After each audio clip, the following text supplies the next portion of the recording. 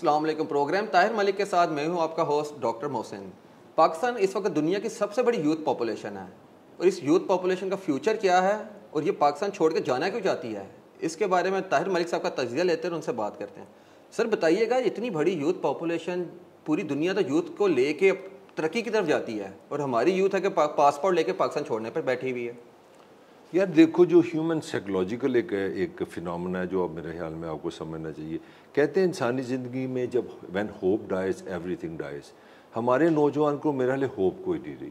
एक होप बनी थी, वो एक, मैं तो वैसे पहले भी पता था कि बनाना लेके बैठेगा इन्होंने वो एक होप बन गई थी कि बस कहाँ आएगा तो बस हमें ऑस्ट्रेलिया यहाँ बन जाएगा, हमारे पासपोर्ट की इज़्ज़त हो जाएगी, ये हो जाएगी। ये मैं रिसेंटली फिनमना बात कर रहा हूँ, जब मैं जवान था, मैं तुम्हें अपनी भी बात बताऊँगा।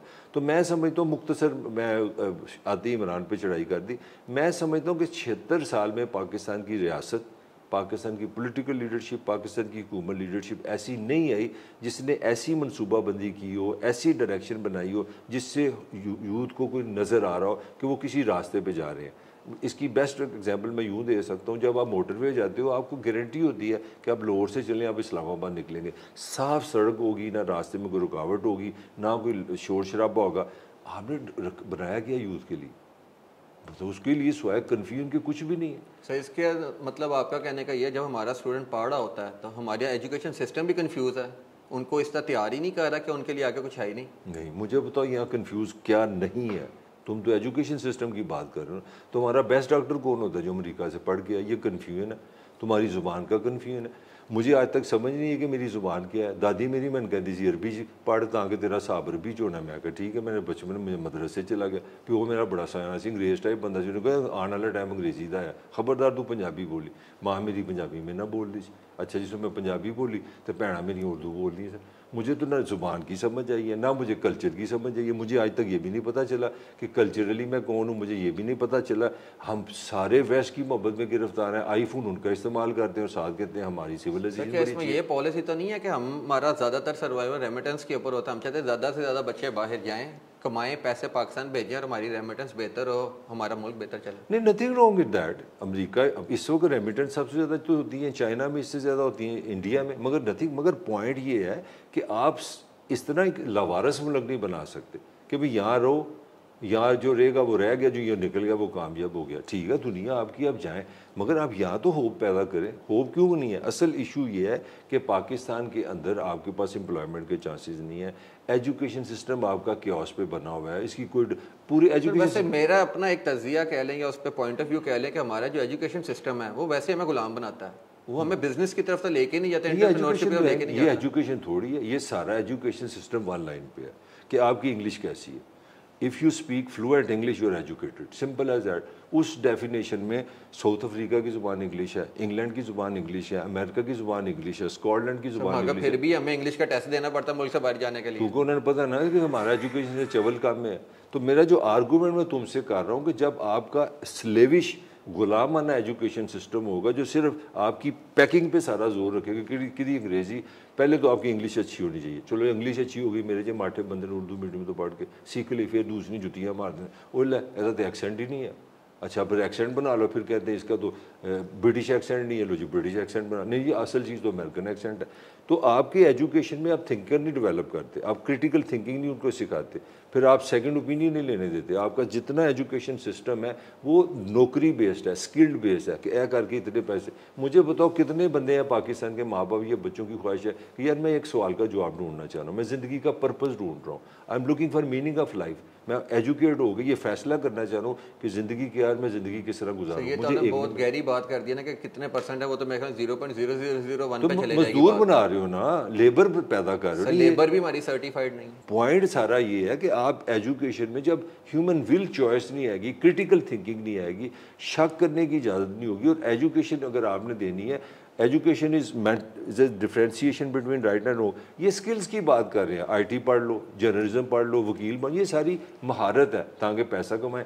Nothing wrong with making money मगर उसमें भी हमारा ये मसला है, हम हम पाँच सौ साल दुनिया से पीछे सर, जब हमारा बच्चा यहाँ से बाहर चला जाता है दूसरे एक तरफ़ हम कहते हैं हमारा ब्रेन सारा मुल्क छोड़ के चला गया। और उस ब्रेन को बाहर का मुल्क जो है, वो हँसी खुशी रखता भी है, वो वहाँ पे कमाता भी है, उनकी अच्छी अच्छी पोजीशन पर भी जाके बैठ जाता है। तो गवर्नमेंट उसके लिए क्यों काम नहीं करती है कि यहाँ पे उनको वो सहूलियात मुहैया की जाए? गवर्नमेंट को फ़ायदा कि जा मगरोला से आगे सन डॉलर भेज ताकि हम यहाँ पे अपनी ज़िंदगी इंजॉय करें, हम अच्छे अच्छे एयर कंडीशन में बैठे, हम बड़ी बड़ी गाड़ियों में बैठे, उनको तो तुम्हारी डेवलपमेंट से गरज नहीं है।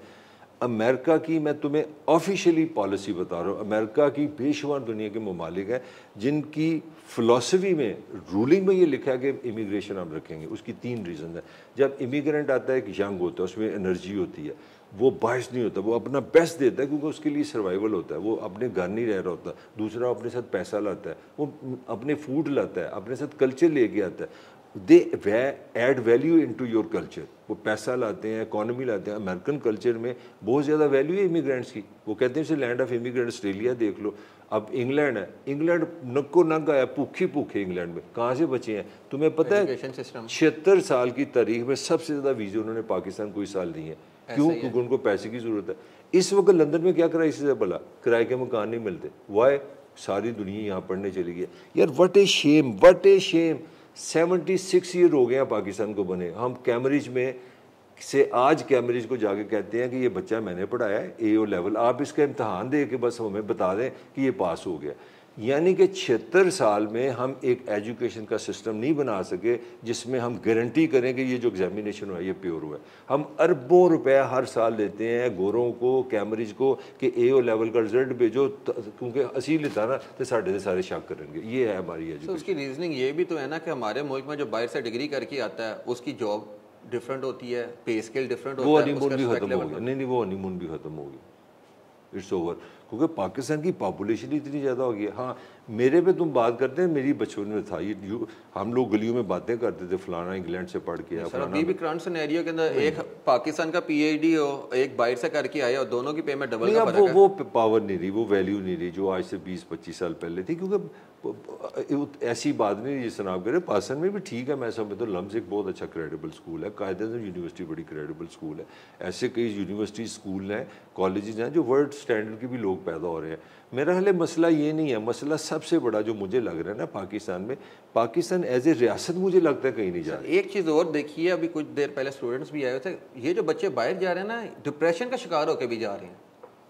मैं तो शुरू में मैंने जो तुम्हें किया क्या मैंने मेरा ओपनिंग किया थी when hope dies everything dies हालाँकि इनके ये ये वो बच्चे हैं ये भी देखो कितना क्रिमिनल थिंकिंग है। मुझे इन पर प्यार आ रहा है बच्चों पे। ये वो बच्चे पाकिस्तानी होते हैं जिनके बाप खुशहाल हैं जिनके घरों घरों में गा, गाड़ी हैं ये इंग्लिश भी बोलते हैं ओ लेवल भी पढ़ते हैं डिग्री है। ये द मोस्ट बेनिफिशरी है पाकिस्तान और सबसे ज़्यादा डिप्रेस है पाकिस्तान। में तुम्हें पता है मैं एक डाटा पढ़ रहा था कि पाकिस्तान छोड़ने की सबसे ज़्यादा ख्वाहिश पता किन में है? जो सबसे प्रिवलेज है। ऐसा क्यों है सर? वो इसलिए है कि वो बेनिफिशरी वो हैं, उनको ज़्यादा रियलाइज़ हुआ कि ये निज़ाम फ्राड पे चल रहा है, इंसाफ नहीं है, या सिस्टम नहीं है। निचले वालों को पता है, वो निकल ही नहीं सकते, वो मुतमिन है। वो अपनी दाल रोटी में भी खुश हैं, वो छोटी सी गली में रहने हैं। उनको पता है निकासी अब ठीक ही नहीं होना, लिहाजा they have learn to live with it उनको पता इस पुलिस ने मुझे मारना ही मारना है, मुझे इंसाफ मिलना ही मिलना है। अगर मैं पकड़ा गया तो मेरी खैर नहीं है, मेरे तो जो मर्ज़ी केस पा दें। तो जो गरीब तबका है ना, उन्होंने इस सोसाइटी को, इस रियासत को कबूल कर लिया। उनको कोई शौक नहीं कि हमने वोट डालना है। उनको जमहूरियत का कोई शौक नहीं। वो इमरान खान नवाज़ शरीफ किसी के चक्कर में नहीं। वो कहते हैं यार जड़ा बंदा आवे सानी काटे का थैला दे दे। तो उनकी रिक्वायरमेंट इतनी लो है और इतनी एक्सेप्टेंस है विद दिस सिस्टम तो आपकी डिप्रेशन कहाँ से आता है? मायूसी आती है जब आपकी तो के ख़िलाफ़ कोई चीज़ हो।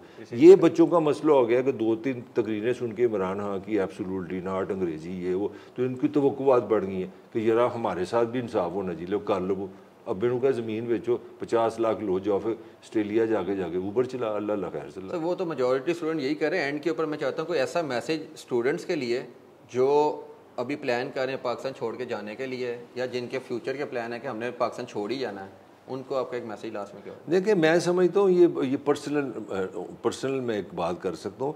स्टूडेंट में पहले तो उनको ये रियलाइजेशन होनी चाहिए बाहर जाने वाले कि हम पाकिस्तानी नहीं मिजरेबल नहीं है। हम पाकिस्तान के बदमाश हैं। हमारे पास गाड़ी वो है। कैसे सर? वो इस तरह बताने लगो ना जो यहाँ यूनिवर्सिटी में आता है वो नाइन्टी सौ में से एक बच्चा होता है। पहले तो तुम प्रिवलेज हो। तुम्हें तो पता नहीं बाकी पाकिस्तानी के साथ हुआ है। तुमने कभी सोचा तीन करोड़ पाकिस्तानी तो कभी स्कूल ही नहीं गया? तो तू you are one in in hundred जो एमए में पहुँचता है वो मेरा हाल एक हज़ार में दो बच्चे पहुँचते हैं एमए में। तो वही रोता है जी, ये मुल्क ने मैंने कुछ नहीं देता। वो बेवकूफ़, पहले ये तो शुक्र खुदा का अदा करो कि जहाँ तुम पैदा हुए, इस सोसाइटी में तुमने कितने, कितनों की नाइंसाफ़ी से तुम यहाँ ऊपर आए हो, पहली बात। दूसरी बात है कि मेरा ख्याल है ज़िंदगी में कुछ पर्पज़ भी होना चाहिए। ये जो है ना कि यहाँ लाइट चली जाती है, यहाँ पे फेयर इलेक्शन नहीं होते, यहाँ पुलिस ये कर देती है यहाँ वो कर देती। है यार, फिर तुम्हारा अपना घर है। आप अपने घर में गंदगी देख के ये तो नहीं कहते कि मैं अपना घर छोड़ दूँगा। इसको सही करो, साफ़ करो, इसको सोचो। कोई मतलब मैं समझता हूँ। सिस्टम ही ऐसा बना हुआ साफ़ करने आप जाते हैं आप भी एक मतलब फ़ील्ड के अंदर आपको पता नॉर्मल तरीके से सिस्टम में कोई काम करवाना होता ही नहीं है। नहीं तो फिर नहीं होता एक्सेप्टेंस है तो फिर जूते खाओ तो बाहर जाओ फिर अपनी वो ज़मीनें बेचो बज्जा बेचो पासन छोड़ दो। दुनिया में इस तरह हुआ है जब आप चीज़ों को रजिस्ट नहीं करेंगे जब आप किसी गलत चीज़ को किसी ना किसी लेवल पे को जो कुरान वाली बात अगर कुछ नहीं कर सकते दिल में ही गलत को। तो मेरा ख्याल है मुझे एक एक ज़रूर प्रॉब्लम है हमारे इस कल्चर में। मुझे ये तो उकताहट तो हर तरफ़ नज़र आ रही है कि ये भी ठीक नहीं, ये भी ठीक नहीं, ये भी ठीक नहीं। मगर ये कहीं मुझे नज़र नहीं आ रहा कि यार हाउ आई कैन कंट्रीब्यूट आप पोलिटिकली इकट्ठे हों, मिलजुल के ऑर्गेनाइज हों, चीज़ें बदलें। मैं तो सलाम करता हूँ अपने खारियों को खुसरों को, मेरे वो हीरो हैं।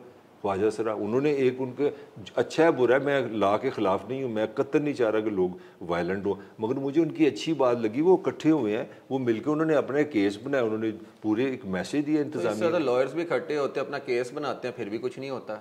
नहीं। जज इकट्ठे हो गए हैं वो अपना केस बना रहे हैं भाई कंसिस्टेंसी नहीं, नहीं ना आप लायर के हैं वो एक ग्रुप की सूरत में आते हैं देखिए एक फ़र्क होता है। जब तक मैंने हमेशा लफ्ज़ यूज़ किया था ऑर्गेनाइज प्लान ऑर्गेनाइज यार आप देखो कल की बात है मैंने सौ साल नहीं हुए वेस्ट भी औरतों को स्टूडेंट ऑर्गेनाइज कैसे आपने स्टूडेंट जो तंजीमें बंद कर दी उन पर बैन लगा दिया। हम्म। एक वही तरीका कहता था स्टूडेंट को ऑर्गेनाइज करने के लिए। उनको एक प्लेटफॉर्म मिलता है, उस प्लेटफॉर्म से वो आगे जाके अपनी चीज़ें मनवाते थे या उनके ऊपर अमल दरामद करवाते थे, वो आपने ख़त्म कर दिया?